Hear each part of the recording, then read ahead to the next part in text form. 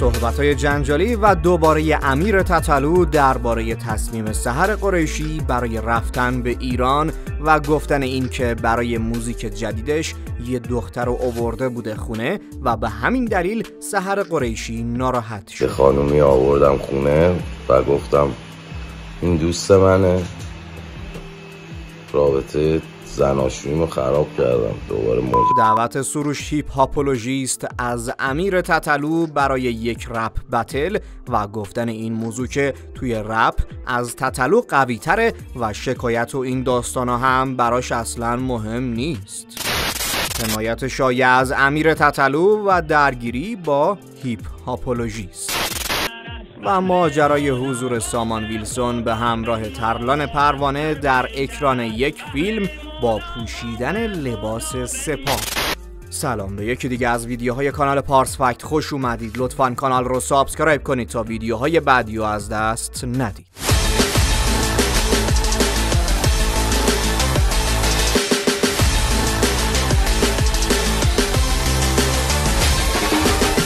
خب همونطور که می‌دونید امیر تتلو و سروش هیپ هاپولوژیست با هم وارد درگیری شده بودن و حالا شایعم اومده و از تتلو حمایت کرده و یه استوری برای تمسخر هیپ هاپولوژیست گذاشته که همین موضوع نشون میده که این روزا رابطش با تطلو خوبه و دارن کارو با هم پیش می‌برن. و اما از اون طرف هم امیر تطلو و سحر قریشی هم که با هم درگیر شدن گویا سحر گذاشته و از ترکیه رفته دوبی و احتمالش هست که بخواد به ایران بیاد و تتلو در این مورد گفت که من برای ساخت موزیک جدیدم مجبور شدم یه دختر دیگر رو بیارم خونه و برای همین سحر قریشی ناراحت شد. من حتی مجبور شدم برای این آهنگ یکی از دوستای قدیمیمون که خانوم بود بیارم خونه و با دوست دختر وابلیکم دعوام شد اصلا. گذاشت رفت سر این آهنگ. یعنی انقدر می‌خوام بهتون بگم چون داستان واقعی بود. من واقعا یه خانومی آوردم خونه و گفتم این دوست منه. به خاطر اینکه ایشون نیاز به کمک داشت واقعا. و البته که بعدش دوست دخترم ناراحت شد و دخترم فرستادم رفت. ولی خب الان که دوست دخترم رفته دختره رو میگم بیاد. کمکش می‌کنم باز. چون احساس کنم دختر خوبیه و اگه کمک بهش بشه. واقعا برای ساختنش من رابطه زناشویمو خراب کردم. دوباره مجرد شدم. خاطر ساختن این آهنگ. در این موردم نوشت دوستان خانم قریشی اصرار داشتن برن. منم با دوتا از هوادارا فرستادم. گفتم هر جا میرن ببرن سالم تحویلشون بدن. دوبه ایران هر جا. پولم گذاشتم پیششون باشه و رفتن. حالا ایشون میگه من خودم تنها می‌خوام برم دوبی و ما به زور نمی‌تونیم واسه ایشون همراه بذاریم. پس به هوادارا میگم همون جوری که می‌خواد بذارن تنها سفر کنه. دیگه هرچیشون شد پای خودشون. من هزار بار گفتم هر جا میری برو ولی بزار برسوننت. سالم برسی. وقتی خودش نمی‌خواد که نمی‌تونیم به زور باهاش بریم. اینه که ایشون خونه ما رو ترک کردن. صبح و الانم میگن می‌خوان اون دوتا هواداری که گذاشتیم بادیگارد رو به خواسته خودشون ترک کنن. از اینجا به بعد من دیگه مسئولیتی از ایشون به عهده نمی‌گیرم. هر مشکلی براشون پیش اومد خودشون می‌دونن و خانوادهشون. من چرا نگران باشم؟ این همه وقتی خودشون دوست دارن و اصرار دارن تنها باشن. حتی جایی می‌خوان برن که دوست ندارن ما بدونیم. پس بنده دیگه هیچ مسئولیتی راجع به ایشون ندارم.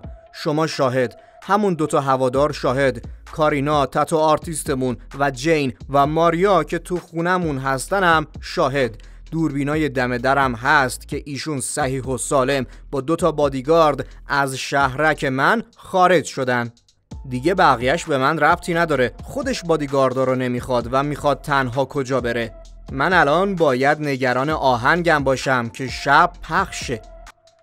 و اما از اون طرف هم سامان ویلسون هم به تازگی به همراه ترلان پروانه به یه اکران عمومی رفته و توی اون لباسی رو پوشیده که خیلیا میگن که لباسش مثل رزمنده ها و سپاهی هاست و به همین دلیل براش حاشیه های زیادی به وجود اومده.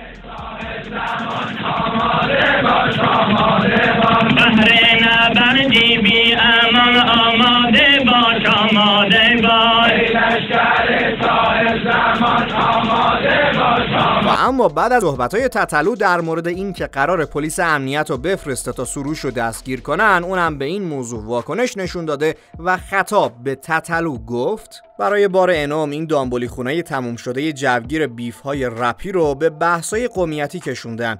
اون موقعی که تو داشتی به مردم خودت بیدلیل فوش می‌دادی من داشتم تو پیک کووید به مردم استان و کشورم خدمت می‌کردم. من فقط تو اولین پیک کرونا دستور بستری 300 بیمار رو تو شهر کوچیک خودم تو مازندران دادم. من با این یارو از ریشه فرق دارم. اینا به کنار. آخرشم نفهمیدیم لاتی یا شکایتی یا آرتیستی. به لاتی باشه که نه تو لاتی نه من لاتم. اگه لات بودی که زرد نمی کردی شکایتی هم اگه هستی که به کتف آقا. ولی اگه آرتیستی یا ادعات میشه رپ کن بهتری از من هستی من تو رو به یه رپ battle دعوت می‌کنم. تو برو چند هفته تمرین کن منم تو نیم ساعت یه ورس میندازم. ورسم هم از قبل میدم کاگان تو برو تمریناتو کن بیا. تو اصلا فوشم بده من فوش مستقیم بهت نمیدم. ادبی میزنمت. اون رفیقت توهی که هر شب به من اسمس می‌زد داشت سروش و ورسات خیلی گنگه. استوری میذاشت می‌گفت لقب دکتر رپ فا برازندته از همون بپرس می‌دونه دوکی قویه. همون ترسو که الان خودشو پشت تو قایم کرده و هر روز مثل یه مخابراتی داره به این و اون زنگ می‌زنه منو خراب کنه. هر وقت جنم یه همچین رپ بتلی داشتی بگو منیجرت یه دایرکت به کاگان بزنه. اگه نه که بیشتر از این نه آبروی خودتو ببر نه آبروی رپ فارسیو. اینم واکنش من به این داستان است و برای بار انوم برخلاف این یارو از طرفدارای دوکی می‌خوام فقط موزیکا رو دنبال کنن نه هواشی زودگذری چسنال مال موضعی بله اینم از واکنش ایشون. حتما نظرتون تو قسمت کامنت ها برام بنویسید و اگه امکانش هست کامنت انگلیسی هم بذارین. خلاصه اینم از ویدیوی امشب. اگه از ویدیو خوشتون اومد لایک و بکوبید و subscribe یادتون نره و نظر خودتون رو توی کامنت ها بنویسید که همه رو می‌خونم و تا جایی که بشه جواب میدم. پس تا ویدیوی بعدی بدرود.